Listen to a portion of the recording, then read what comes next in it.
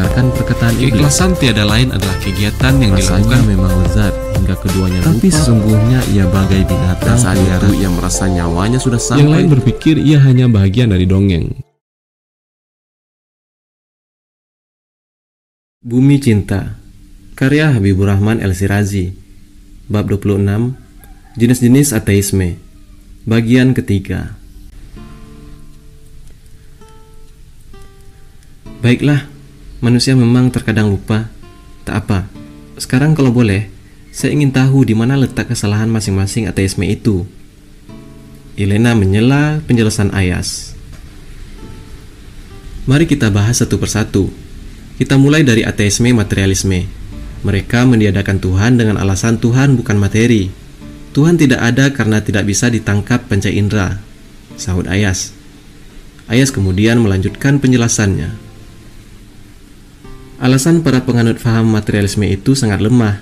Pada kenyataannya, manusia mengakui adanya sesuatu yang bukan materi. Misalnya hukum.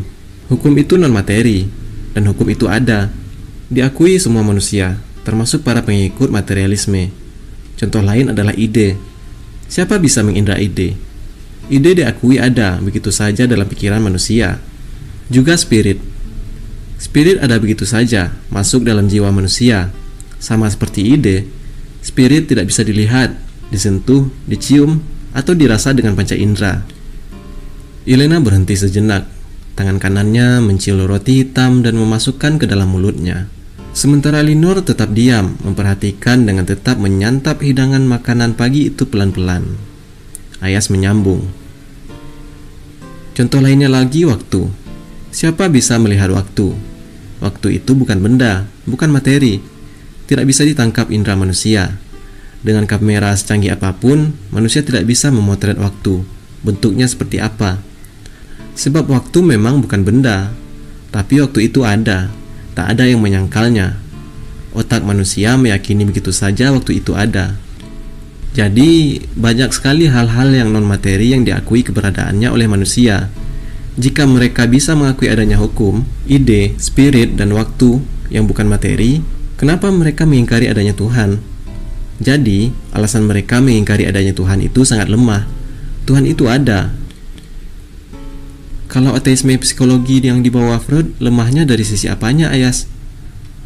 Guma Melena sambil mengunyah roti hitam. Dari segala sisinya lemah. Dari awal sampai akhir dasar falsafah mereka lemah.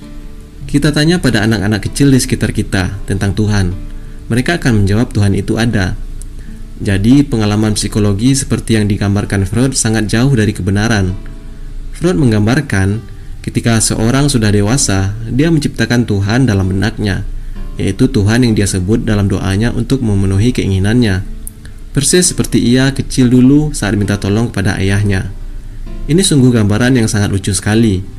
Bagaimana dengan orang yang sejak kecil telah mengenal Tuhan dan mengakui Tuhan itu ada? Atau bagaimana dengan anak yatim piatu yang tidak punya bapak dan tidak punya ibu, hidup sebatang kara sejak kecil? Namun ketika dewasa, mengakui adanya Tuhan. Apakah Tuhan yang diakuinya terlahir dalam benaknya sekedar untuk memenuhi keinginan-keinginannya, persis waktu ia kecil saat diminta tolong sama ayahnya? Bagaimana ia punya pengalaman minta tolong pada ayahnya, padahal ia tidak punya ayah? Sampai di situ Ayas berhenti sebentar. Ia mengambil cangkirnya dan menyeruput tehnya yang mulai dingin. Ia kembali angkat suara. Freud meyakini bahwa agama tak lain hanyalah cerminan keinginan manusia. Karenanya, agama juga khayalan otak manusia belaka. Pertanyaannya, benarkah agama itu merupakan keinginan? Kodrat manusia mengkendaki terpenuhi secara baik kebutuhan jasmani dan rohaninya. Nafsu seks manusia mengkendaki pemenuhan dengan wanita mana saja tanpa batasan atau larangan. Demikian pula nafsu perutnya. Tetapi agama melarang pemenuhan demikian. Manusia wajib mematuhi tuntutan perut dan seksnya dengan beberapa aturan.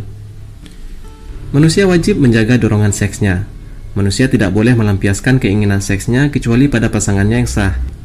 Manusia tidak boleh mengisi perutnya kecuali dengan yang halal. Manusia harus mengerjakan salat, puasa, membayar zakat, sedekah, dan itu bukan sesuatu yang diinginkan, tapi kewajiban dan tuntutan yang diajarkan agama. Jika agama merupakan keinginan, Mengapa banyak rasul yang membawa agama itu justru menderita, disingkirkan, diteror, bahkan ada yang dibunuh? Jika agama cerminan keinginan, seharusnya semua rasul diterima dengan penuh sukacita oleh kaumnya. Kenyataannya adalah sebaliknya. Jadi tidak benar agama merupakan keinginan. Dan tidak benar anggapan Tuhan hanyalah rekaan benak manusia. Tuhan memang benar-benar ada, dan agama yang benar seperti Islam adalah agama yang diwahyukan Tuhan, bukan cerminan keinginan manusia. Berarti tinggal Karl Marx, kata Elena. Marx mendasarkan falsafahnya pada materialisme dan pemikiran Freud dan Feuerbach. Dan satu persatu telah kita runtuhkan di depan. Kita tinggal melihat alasan kebenciannya pada agama. Marx mengatakan agama adalah candu yang meninabobokan manusia kepada kehidupan khayal. Pernyataannya itu tidak berlaku untuk semua agama, terutama Islam. Islam itu tidak hanya membangun kehidupan di akhirat, tetapi juga kebahagiaan di dunia. Bahkan dunia ini jadikan sebagai ladang kebahagiaan akhirat. Rasul Islam yaitu Muhammad Shallallahu Alaihi Wasallam menyuruh kepada umatnya untuk bekerja keras membangun kejayaan duniawi, sebagaimana menyuruh umatnya beribadah sebaik-baiknya untuk membangun surga. Islam sendiri dengan terang dan tegas memerintahkan pemeluknya agar bekerja untuk dunianya seakan-akan mereka hidup selamanya dan beribadah untuk akhiratnya seolah-olah mereka akan mati besok pagi. Dalam hadis yang lain, Rasul memberitahukan, seseorang yang bekerja untuk anaknya, maka pahalanya sama dengan berjuang di jalan Allah. Beliau juga menjelaskan, harta yang diinfakkan untuk jihad visabilillah, harta yang digunakan untuk memerdekakan budak, harta yang diberikan kepada fakir miskin, dan harta yang diberikan untuk keluarga di antara semuanya itu, maka yang paling besar keutamaannya adalah harta yang dibelanjakan untuk keluarga. Betapa Islam mengajak manusia mencapai kebahagiaan di dunia. Lalu Rasulullah menjelaskan, dunia adalah ladang akhirat. Kaitan dunia dengan akhirat begitu eratnya. Yang dipetik di akhirat adalah apa yang ditanam di dunia. Tanpa keberhasilan seseorang menempatkan dirinya di dunia, ia tidak akan berjaya di akhirat.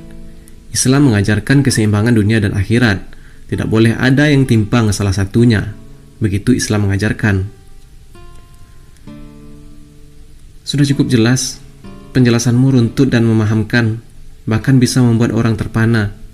Wajar kalau pembicara yang di sampingmu yang cantik itu sampai menciummu begitu kau selesai berbicara. Kelihatannya dia jatuh cinta padamu. Siapa namanya? Anastasia Pas... Pas... Siapa? Ujar Elena sedikit meledek. Anastasia Palazzo. Linor membetulkan.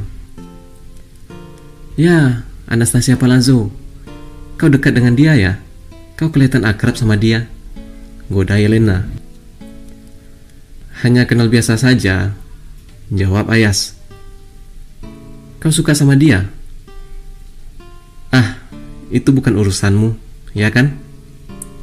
Jawab Ayas sambil tersenyum. Tiba-tiba ia jadi ingat dengan Dr. Anastasia Palazzo. Dia mungkin sedang menunggunya di ruangan Profesor Tomsky.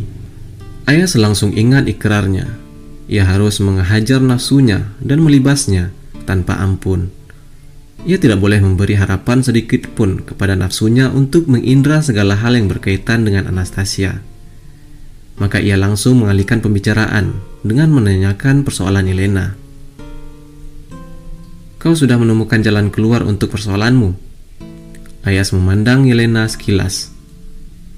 Persoalan yang mana? Yelena ganti bertanya. Yang berkaitan dengan Olga Nikolayenko. Yelena langsung ingat sesuatu. Ia hampir lupa. Ia harus bergerak hari ini juga. Ia harus menjalankan semua saran dan rencana Linor sebaiknya ia tidak boleh gagal jika ingin hidup tenang dan merdeka di Moskow. Maka dengan mantap Elena menjawab, Untuk persoalan itu, puji Tuhan, aku sudah menemukan jalan keluar yang baik. Syukurlah jika demikian. Sahut Ayas ikut senang.